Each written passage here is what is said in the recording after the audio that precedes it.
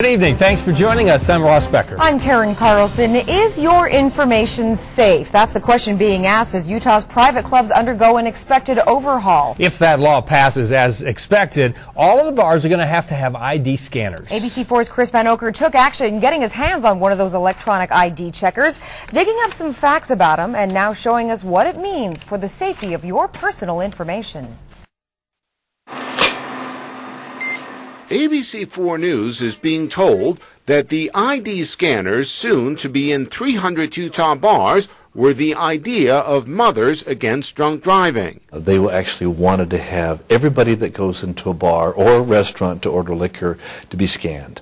Instead, scanners will only be in what used to be private clubs, and the only people ID'd will be those who appear 35 and under. But one concern about these scanners is how will people who appear 35 or younger feel about being ID'd?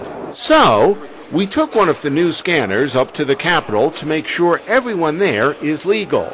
Some were amused. I want to make sure you're old enough to be up here, so I'm going to have to check your ID. You're so awesome. Others, perhaps not so much. We want to make sure you're old enough to be up here, so I'm going to need to check your ID. But soon, all of the Capitol's creatures were asking us to check their IDs lobbyists, security, and even other media. And the sponsor of the bill says the goal is a good balance between the old private clubs that we've just repealed and the idea of making certain that we have good control on alcohol in the state. The ID information collected in the scanners will not go to a central database as was once suggested. Instead, it will be kept in the machine for about seven business days until new names bump out old ones. And speaking of names, Chris Vanocur, ABC 4 News.